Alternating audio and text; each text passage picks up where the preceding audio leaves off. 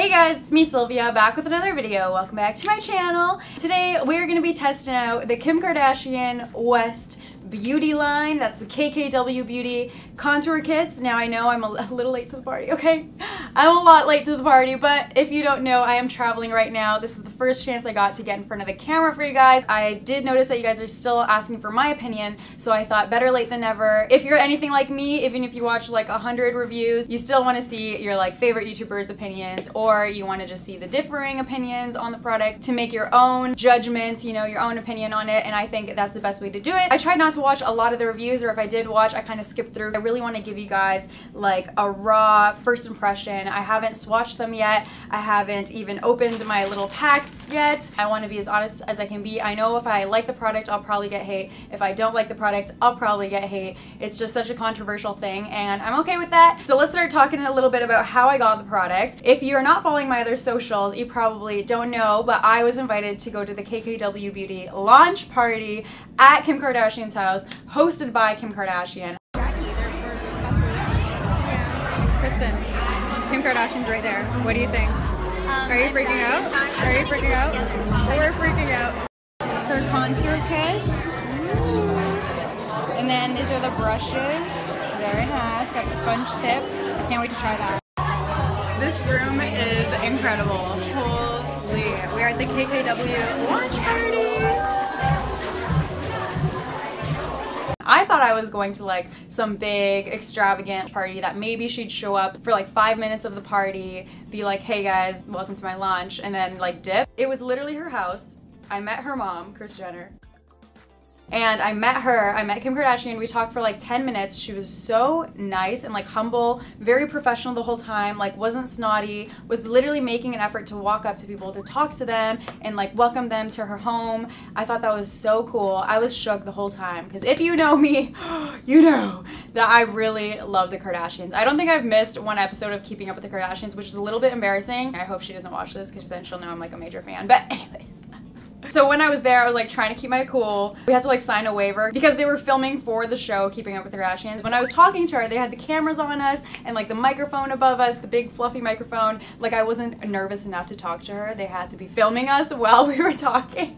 But anyways, I'm pretty sure I kept my cool. I kind of blacked out a little bit. I don't really know what we said, but she was just really sweet the whole time and it was just a really nice private launch. Putting all that aside, I'm gonna put my bias aside because yes, I love Kim Kardashian, but I still want to give you guys my honest opinion and just let you know, do I think the product's good? But that being said, I am only one person. There's tons of reviews out there. Make sure you're watching them all, doing your own research, and forming your own opinion because what works for me might not work for you. And now that we got that little disclaimer out of the way, I think we can get started. But I do want to remind you to subscribe to my channel if you are not subscribed already. I drop a new video every single Sunday and a bonus video throughout the week, so hit the subscribe button so you can be notified. Without further ado, let's start testing out these contour kits. So Kim came out with four contour kits. There's light, medium, dark, and deep dark. So it seems like she has a pretty good like range of shades. The first thing I noticed was that the deep dark did seem darker than a lot of brands will come out with in shades. Shout out to her for that, but I don't really know. You're gonna have to watch some other YouTubers videos on that who have a different skin tone than me. So this is the medium kit. I'll probably stick to using this one the most because I feel like that's the one that's meant for my skin tone, but we'll dabble in the other kits too. You know, we gotta get a feel for all of them. But this is what the package comes in. It's like a blush kind of nude color, which is very Kim K. You know, she loves her nudes. It looks like a Ziploc bag, like no doubt about it. It does look like a Ziploc bag. I think a lot of people thinking that it's Kim Kardashian, like they were expecting something very luxurious. It's just a bag, like it's no big deal. I didn't really think anything of it. I know Pat McGrath came out with a similar packaging and no one really said much about it. Let's open it up. The price is $48, I believe is what they're retailing for. It is a little bit high. I mean, you are getting quite a few products in the kit,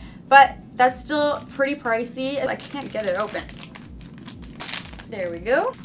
So you open it up, the product's out, it's in like this like suctioned plastic kind of packet, you know? And I'll be honest, I feel like I'm the type of person that can appreciate really good packaging and beautiful packaging, something that you want to like display on your shelf type of thing. So this wouldn't be that. And that's fine too. A lot of people might actually prefer packaging like this because it might be even better for the environment. You're not throwing away all this garbage. It's very simple, very sleek. But I'm not gonna lie, I probably would like something a little bit more glitzy glam with the KKW like logo splattered on it, something to hold the products maybe. Just cause if you are a big fan of Kim Kardashian or you're buying this just because you're a fan of Kim Kardashian, you'll probably want to display it. And the way it comes packaged, you probably can't really display this. You'll just like end up shoving them in your makeup bag or in your makeup drawer. So one's a highlight stick and one is a contour stick. They're both dual ended. Seems like everything is dual ended in the kit. We also have the little brush. Now right off the bat, I will tell you that these are a lot, a lot, a lot smaller than I thought they would be. When I was at the party and they had them displayed, I was very surprised. I thought they were might have been like a sample version or like a travel size. I don't know why I expected it to be a little bit bigger. I think from the pictures and stuff, they looked bigger, but that's just my first impression. When I saw them, they look tiny. Like they look like a travel size version. They're not though. This is supposed to be the full size. On the brush, we have one side that's like a kind of kabuki brush. It's pretty dense, but has soft bristles. And then on the other end, we have the sponge tip applicator. Doesn't look like there's a lot of sponge to it, but it does feel pretty squishy. I thought that was a cool idea that she also wanted to include a tool to blend out the product. It does kind of look like a little toy though. It's very small. It doesn't have much weight to it, but it's very cute, very sleek, kind of simple packaging. And I think that's what she was trying to go for with the overall thing. So we're not going to judge it quite yet. We'll see how the product applies. But right now, I'm not like super blown away from the packaging. I feel like it's very Kim K though. So it's just your preference. If you prefer something more crazy, glamorous, you're not going to like packaging. If you like something that has weight to it, these are very lightweight. You know, there's not much to it. You can hear that. Can you guys hear that? So I'm just letting you guys know what it feels like, like we're being real here. But if the product is great, then who cares what it looks like? I always say that, especially when I'm reviewing high-end makeup brands. It can look so gorgeous, but that's not gonna affect the way it applies. So I guess packaging really isn't a huge thing at the end of the day. It just depends on your preference. So this is the highlight stick. It's got two ends to it. So one end looks more of like a concealing stick. So that's it, literally pulled out all the way. That's how much product there is in there. That's not a lot. So that goes back to my first impression of thinking it was like a travel size version. I think the amount of product in it kind of reflects that as well. So who knows, maybe she wanted it to be very like compact, very like travel friendly. I don't know, but for the price, you are paying quite a bit of money for the amount of product that you're getting. This is the highlight shade right there. So I'll swatch the medium matte highlight shade. It's a little bit more pink than I imagined. I thought medium would have more of a yellow undertone because usually medium skin tones more have like an olive undertone so they would need more like a yellow. But but we're gonna try it out and see how it works. Just right off my first impression though, it does look a little bit too pink. Now let's wash the highlight. Ooh, so this is like the shimmer highlight. That's very pretty. It's like pearl. We've got more of like a bronzy kind of warm contour and on the other side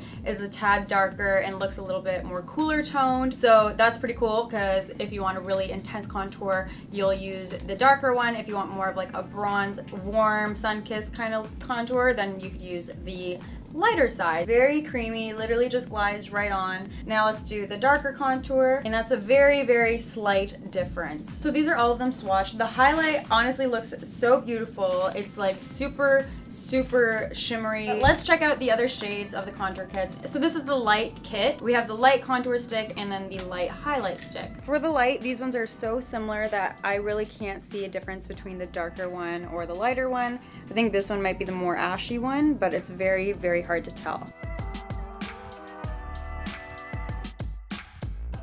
Moving on to the dark kit.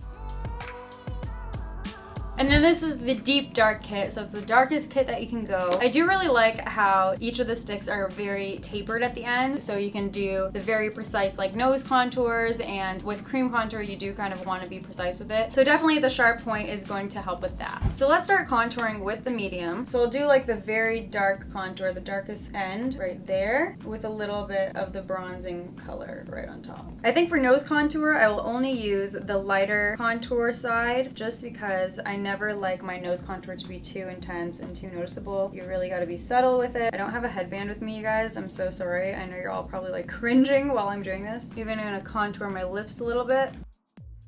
The contour is all on there. Now let's start to blend it out. We'll use the little tool that it came with just to see how good it is. I'll start out with like the little brush side in little circular motion. Wow, that's blending out really, really quickly. Really quickly and creamy. But it almost looks as if it's like melting right into my foundation and a lot of the product is kind of disappearing into my foundation. But I really like the end result. It looks so subtle. It's a very, very lightweight, creamy consistency that's very like, almost like a balm kind of feeling So it blends in literally two seconds. That blended very easily. And it's not streaky at all. It didn't like patch up my foundation.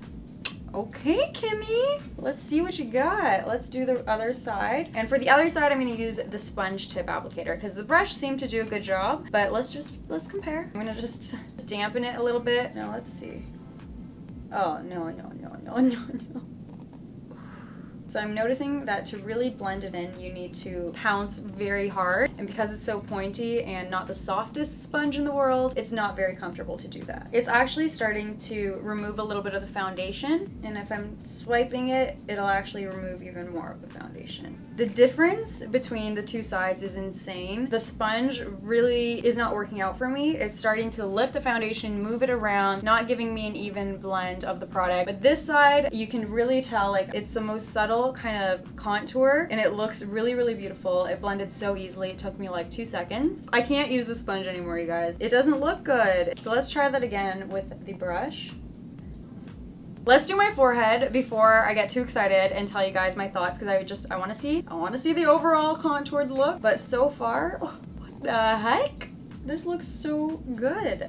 Okay, this brush is like a magic blender. It's actually doing a very good job and very quickly. I think because combination of it being very soft and flat and then plus the product is super creamy and lightweight on its own, it just does such a quick job of like blending it into your face. Okay, so that's my forehead, perfectly contoured, cheeks snatched, not too dramatically snatched, you know what I mean? Like it's not like I'm cutting anybody with my cheekbones or anything, but this is how I prefer it. I'm gonna say right now, I've never been a really huge fan of cream contour products just because I find they're very hard to handle. You can get very messy, very muddy very quickly. It can also be very intense. I would only usually do it if I'm going out at night or for pictures because that's when it looks amazing through pictures, you know, but in person it can kind of look like you have like a streak of like muddiness. This looks good in person. Like I will say it right now. It gives you a very subtle, very natural looking contour and I think honestly the majority of people would prefer that. So I'm gonna say I'm really loving the contour so far. I don't think you can build it too much, but this side does look a little more intense than this side, and this is the side that I did two layers on. So I'm sure you can play with it if you wanna add more product. So I'm really loving the contour. Let's move on to the highlight. Here we go. I don't think it's a concealer. They never mentioned that it's a concealer. I'm pretty sure it's just to like brighten your under eye, so that's why I already applied just the tiniest bit of concealer underneath my eyes, just because that's what I would normally do with a brightening product. You wanna apply it after your concealer just to brighten a little. It's a little pink, but let's wait till we blend it out before we judge it. And I will also apply it in the center of my nose. I'm gonna leave my nose like blending till last so we can make sure it's all blended nicely together. And I will apply a little bit in the center of my forehead. Cupid's bow. I'm a little worried that the brush end of this, since I already used it for contouring, might stain my highlight. I don't want a muddy under eye, so I'm gonna have to use one of the other brushes. So I'm just gonna blend out that highlight. Usually I would use my Beauty Blender, especially for my under eye, concealer, anything like that. It's just very gentle on that area, which is what I like. So I can tell it's a very, very lightweight kind of formula. You wouldn't be able to use it as a concealer on its own. Even if you like a very sheer coverage, I feel like it still wouldn't do much for you, but it is doing an okay job of just brightening and adding a little bit of extra life to our under eyes. I'm gonna have to just go in with my Beauty Blender for the nose because it's just such a precise area that using that big old brush is not gonna not gonna cut it. So everything's blended out on my face and I will be honest, that's probably the quickest cream contouring that I have ever done. I think that just because the product, the formula is just so creamy and lightweight, it's so effortless to blend it in. You don't have to work hard at all. So that just means like if you're a beginner and you have never really tried cream contour before, or maybe you're like me and you don't like to use cream contour for that exact reason, Try it again with this product because I swear to you, you'll like it so much better. It'll be so easy to start out with. So now let's just add the little shimmer highlight is the last step. Still in the shade medium. I haven't had to like use the other kits. I wanted to show you guys. Uh-uh. It wasn't even fully extended, but I guess because I was waving around too much, it just completely broke out of there. Anyways, that's disappointing. Let's move on to the highlight shade and just focus on the product itself. So I'm just applying the highlight on my cheekbones, my cupid's bow, and I'll do a little on the bridge of my nose. So I'll just blend out with my finger. So in the camera, that looks really nice and very subtle. This is beautiful on its own if you want natural highlight. Now I'm just gonna powder my face and set everything. I'll get back to you guys with my final thoughts. All in all, I will tell you that I really actually enjoy the product. I will be continuing to use it probably until it's done, which probably won't take too long because there's not that much in here. Just because it's my favorite contour that I've tried. It was so easy to work with. It gave me a beautiful finish. So yeah, all the cons aside, I think that the formula still takes the cake. I just hope that they improve on the packaging and give us a little more product because if you're paying that much money for it, even if it is a really good formula, I think that it should be more of like a well-rounded, good product overall. And I think that this only has a few very strong points. So that's just my honest opinion. It might have been a little bit harsh. I feel like it's a little more harsh than I wanted it to come off because all in all, like I said, I do really like the product. But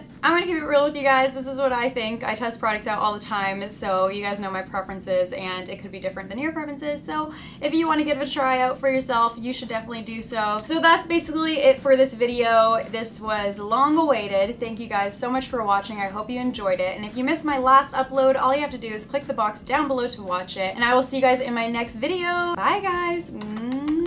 Bye.